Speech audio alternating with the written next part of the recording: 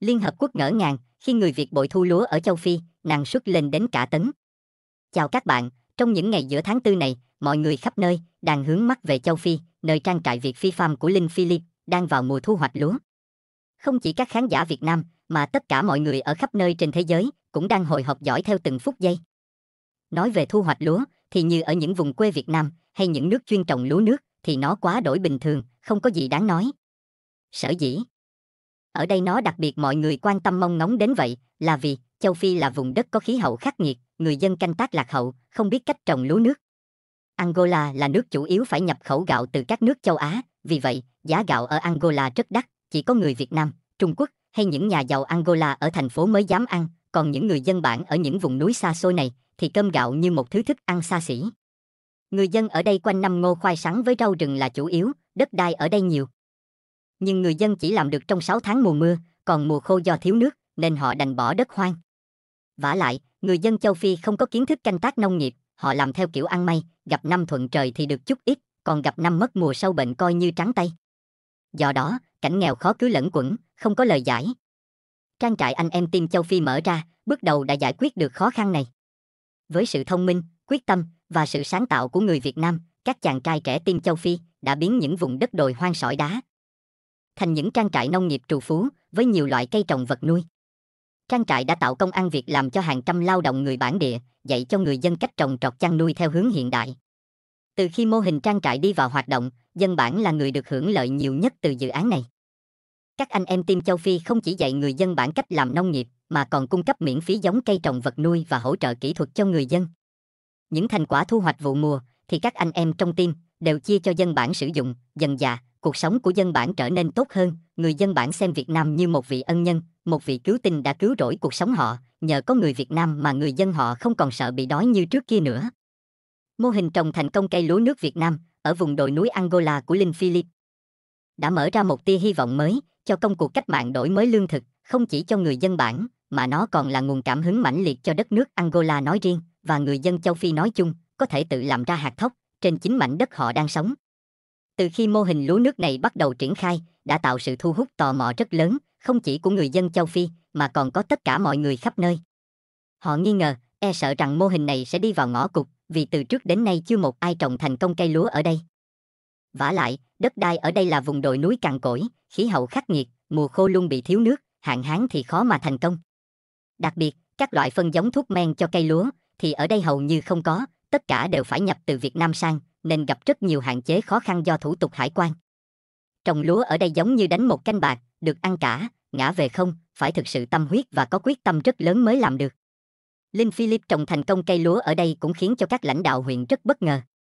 Họ không nghĩ rằng có một ngày cây lúa lại phát triển xanh tốt ở mảnh đất này, các lãnh đạo cũng rất khâm phục sự bản lĩnh, táo bạo của người Việt Nam. Việc làm của Linh Philip cũng như team châu Phi chứng tỏ một điều rằng, không gì là không thể cả, chỉ cần bạn có ý chí và quyết tâm, mọi thử thách khó khăn cũng đều có thể vượt qua được. Trồng thành công cây lúa Việt Nam ở châu Phi quả là một kỳ tích, thật đáng khen và tự hào về những chàng trai trẻ của chúng ta. Trồng cây ắt có ngày sẽ hái quả. Sau bao ngày nâng niu chăm sóc đứa con tinh thần, có lúc quên ăn quên ngủ, suy nghĩ cách trị bệnh cho lúa, rồi đến những lúc lo lắng khi những kiện hàng thuốc men bị giữ ở hải quan. Nhưng trời không phụ lòng người.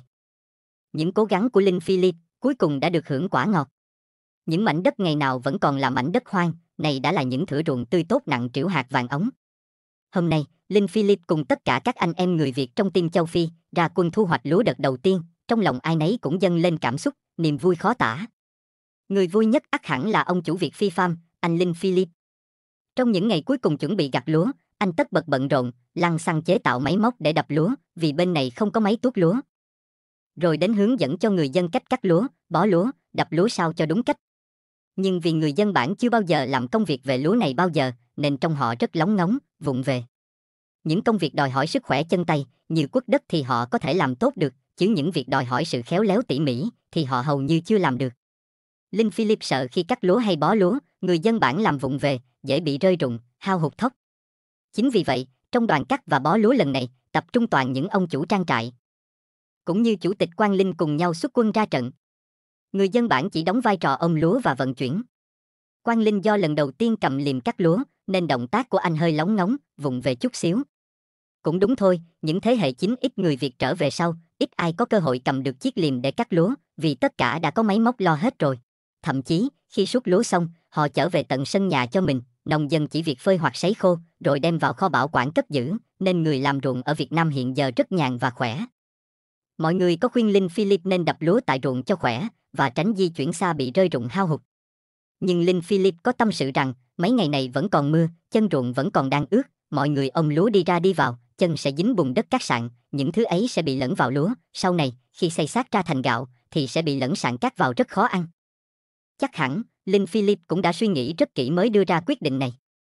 Trong không khí hân hoan phấn khởi của ngày ra quân gặt lúa, ai nấy cũng đều vui vẻ và tràn đầy khí thế, tiếng cười nói pha lẫn những tiếng sột soạt của lúa cắt, làm nhộn nhịp cả một vùng đồi núi.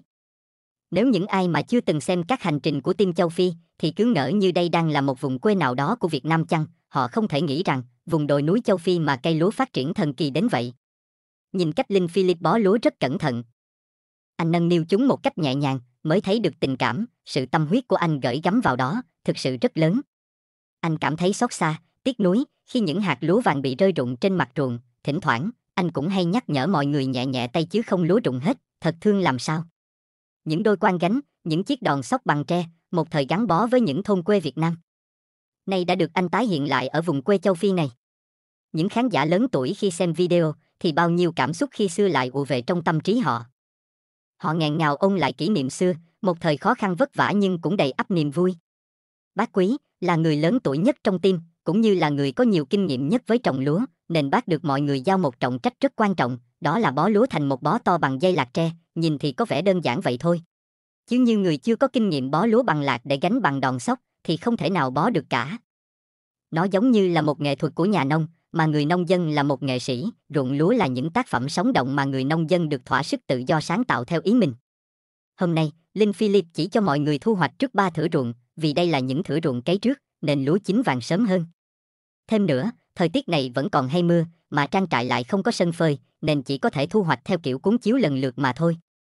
Nhờ đông nhân công, cộng với người Việt mình có kinh nghiệm làm lúa, nên chỉ một thoáng chốc cả ba thửa ruộng này đã được cắt xong. Sau đó, anh em trong team hối hả cùng nhau gánh lúa về sân tập kết để đập. Nhìn cảnh các chàng trai trẻ Việt người gánh bằng quan gánh, người gánh bằng đòn sóc nối đuôi nhau thật sự xúc động. Chủ tịch Quang Linh, tuy chưa một lần gánh lúa, nhưng anh vẫn tự mình len xả gánh những gánh lúa nặng về sân, tất cả cũng vì kiếm được hạt gạo cho người dân bản. Những chàng trai Việt giống như những người chiến sĩ trên mặt trận nông nghiệp. Giúp đỡ người dân bản Angola xóa được đói giảm được nghèo. Thật sự rất ngưỡng mộ và tự hào về các chàng trai trẻ Việt Nam. Từng nhát đập lúa nhẹ nhàng, nhưng tiếng vang của nó vang vọng khắp cả thế giới. Những âm thanh này là âm thanh của sự ấm no, âm thanh của hạnh phúc và hy vọng. Những hạt lúa vàng như những hạt ngọc mà ông trời ban tặng, đang chảy tràn theo từng nhịp đập lúa. Những anh em team châu Phi đã đem những tinh hoa 4.000 năm lúa nước của Việt Nam chia sẻ cho người dân châu Phi.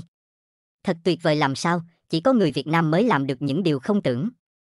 Trồng thành công cây lúa ở châu Phi mà năng suất vượt qua ngoài sự mong đợi. Theo như tính toán của anh Linh Philip, thu hoạch bước đầu chỉ mới 3 thửa ruộng mà cho ra được gần 7 bao thóc tươi, tính tổng cộng được khoảng 300 kg. Như vậy mỗi thửa ruộng sẽ cho trung bình 100 kg thóc tươi. Ở đây, hiện đang gieo cấy 15 thửa ruộng, như thế, khi thu hoạch toàn bộ sẽ rơi vào con số 1 tấn rưỡi thóc tươi, nếu trừ hao này nọ khô khan, thì tầm hơn 1 tấn thóc khô là nắm chắc, một con số vượt xa ngoài mong đợi. Nhiều khán giả xem kênh khi thấy Linh Philip thu hoạch lúa bội thu cảm thấy rất mừng vui, họ gửi hàng ngàn lời chúc mừng, cùng những lời động viên khích lệ rất sâu sắc, nghe tiếng đập lúa sao mà rộn ràng quá, chỉ có các cháu trong tim, đoàn kết hợp đồng hợp sức giúp đỡ lẫn nhau, đã đưa thành công cây lúa trên đất Angola. Chúc các cháu có thật nhiều sức khỏe, để giúp đỡ người dân ở đây được xóa đói giảm nghèo, tội nghiệp Linh Philip, thấy gặt lúa rụng xuống ruộng ổng tiếc, lúc đập cũng vậy, ổng cứ nâng niu, thấy ai cắt lúa mà mạnh tay là ổng tiếc lắm, đúng thật, bỏ bao công sức mất ăn mất ngủ, thấy ổng lăn xăng mà tội, chúc mừng Linh Philip, chúc mừng team châu Phi đã được nhiều thắng lợi thành công. Đây là một trong những lời chúc mừng động viên mà khán giả ưu ái gửi đến Linh Philip, cũng như team châu Phi, mà mình xin trích để mọi người tham khảo. Sự thành công của cây lúa ở châu Phi được cho là kỷ lục, kỳ tích. Mỗi hạt lúa thu hoạch không chỉ là niềm tự hào của Linh Philip, mà còn là niềm tự hào của người Việt Nam. Linh Philip cũng như anh em trong team châu Phi đã chứng minh một điều rằng, dù ở bất cứ đâu trên thế giới, người Việt luôn có thể tạo nên điều kỳ diệu từ đôi bàn tay và trí tuệ của mình. Hy vọng, với sự thành công mô hình lúa nước này, các anh em trong team châu Phi sẽ mạnh dạn nhân rộng mô hình này hơn ở mỗi trang trại của thành viên đứng chân, cũng như nhân rộng ra các bản làng xung quanh khác. Một khi mô hình này nhân rộng, sẽ thuận tiện hơn cho việc trang bị máy móc đưa vào sản xuất cũng như thu hoạch. Đồng thời, tranh thủ sự ủng hộ, giúp đỡ của chính quyền địa phương là chìa khóa để nhân rộng mô hình lúa nước Việt Nam trên đất Angola, sẽ gặp nhiều thuận lợi và thành công hơn, giúp người dân xóa đói giảm nghèo. Nâng cao chất lượng cuộc sống. Cảm ơn tất cả các bạn đã dành thời gian xem hết video. Nếu thấy video này hay, ý nghĩa, xin vui lòng cho mình xin một like và nút đăng ký kênh nhé. Chúng ta hãy cùng nhau làm một việc nhỏ, giúp loan tỏa niềm tự hào dân tộc, để các nước bạn bè khắp nơi trên thế giới biết đến một Việt Nam thân thiện, tuyệt vời như thế nào. Cảm ơn các bạn nhiều, chào tạm biệt và hẹn gặp lại.